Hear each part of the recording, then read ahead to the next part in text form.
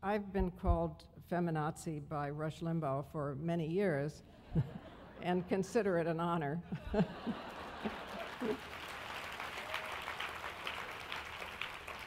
but it's pretty different now. It's really different now. Now, if we link our knowledge together, we, I think, can come to a better understanding of why this is happening. We know from our insights into family violence, which we finally revealed and told the truth about, and so we understand much better. We understand that the maximum time of danger for a woman who is escaping is just before or after she escapes. It is at the time when she is escaping control. It is all about control. And I believe what's happening now is that this country is escaping control. It is, what it means is that um, many things, you know, we are no longer supporting the war in Iraq and we're questioning the one in Afghanistan. We're questioning our healthcare system. We're questioning our profiteering financial institutions. Uh, we're questioning patriarchal families and the hierarchy of race and ethnicity. Women of all races have elected leaders to show, to, to slow or stop the long backlash against reproductive freedom as a basic human right. Um, and we have an African American president and his family in the White House. We will be, thanks to, thanks to you. By 2012, we will perhaps no longer be a mainly European American country, right? Lots of things are, are changing and happening. We've lost our faith in Wall Street. I mean, you know, many things are. changing. we are becoming free. And this is a time for us as a country of both maximum danger and maximum promise. So, what we have to do is figure out how to protect each other and minimize the danger and look at the nature of it and see how it is connected. There aren't different movements. There is one big movement. There isn't one uh, hierarchy, all different hierarchies. There's one way of hierarchical thinking, which often starts in, in the family. So, what can we do? Well, uh, you're doing it. You're doing it in this room. Everything I heard means means that you're you're doing it. So I only have a few suggestions for you to, except for for number. I'll do my own number 25s on the card. Right, right, right. right. that assault weapon in Arizona really did me in, and I think that the women's movement is the only massive group that's going to take on gun control. Because I I don't see. It, it's not it's it's is not happening in Congress uh, enough because of the four million votes that the NRA says it has, although they never prove it, but they say they have them. Um, it's the a lot of the leadership on the left doesn't seem to do it, and it just seems to me that we're the right people because we're the folks that they, they say they're protecting. So. We get to say no thank you.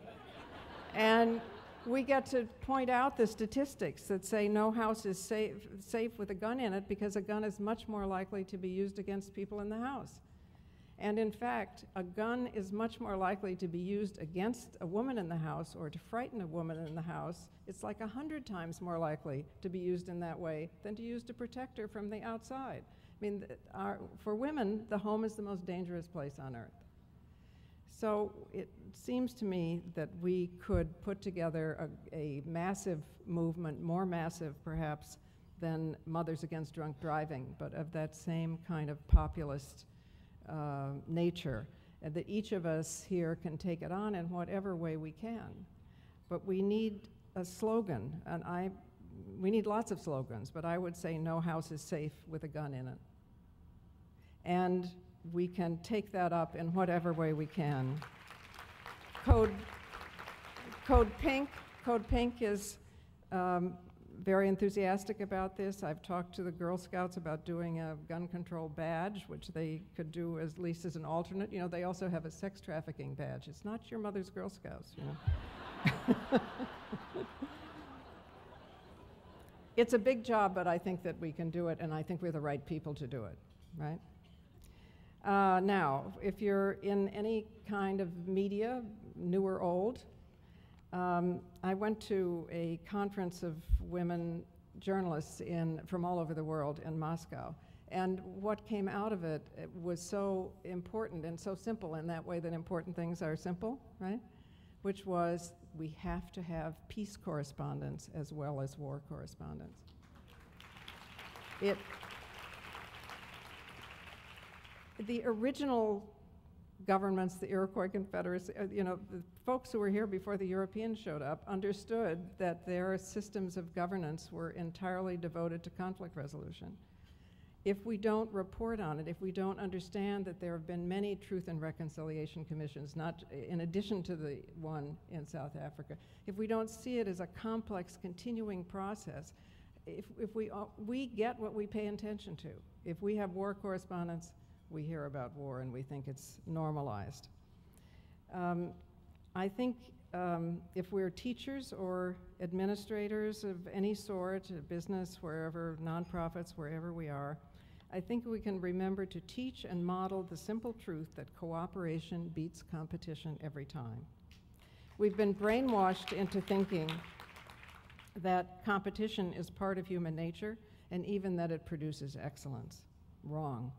I recommend to you a book called No Contest, which you may know. It's not a new book, it's a classic book by Alfie Kohn, K O H N, uh, that, that offers up all of the studies and statistics and situations showing that actually competition produces mediocrity and discontent, and um, co cooperation produces excellence. We all know that we're, we feel smart when people think we're smart right? And we feel dumb when people think we're dumb. So what we that's what we need. We need that kind of support. We don't need a system, a hierarchical system in which only one can win, wasting the unique talents of all the others and making that winner forever insecure because someone surely will come along and beat him or her.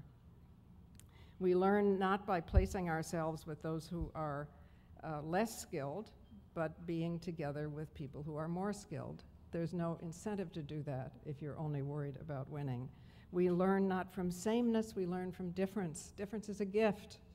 Difference is what allows us to expand and learn. Um, empathy turns out to be the major part of our evolutionary equipment. The species couldn't have survived if we didn't have a, feel a leap of empathy to another human being in, in order to help spontaneously that that human being. The Good Samaritans during World War II, who everyone was trying to imitate because they helped Jews at their great own great danger, and they themselves were not Jewish, in, in studying them and trying to replicate them as we would all like to do, the question was was it education? Was it religion? Uh, what was it? And it turned out to be the most shared factor was they had not been abused as children because uh, child abuse, I mean, in a sense, the purpose of punitive ways of raising children is to cut off that leap of empathy, to make children feel deeply, grow up believing that there's only two choices either the victim or the victimizer. It takes a lot to cut off empathy, but that's what happens with a lot of the way, ways our, our children are, are raised. So if we had even one uh, generation of children raised without violence and shaming. Just one generation. Think what would be possible. We have no idea what, what might be possible. And finally,